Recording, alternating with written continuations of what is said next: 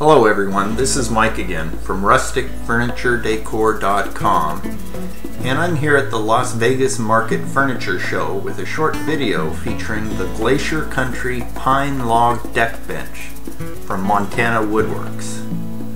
This Amish built deck bench is handmade from sustainably harvested lodgepole pine and the arms and legs are comprised of lodgepole pine logs with some of the inner cambium bark left on. And brass screws are used to attach the Adirondack style pine planks for the back and seat for a unique rustic look. This deck bench is 52 inches long by 37 inches deep by 37 inches high and it's completed with a low maintenance durable 8 step stain and lacquer finish process and it makes for comfortable outdoor seating for two on your porch or patio.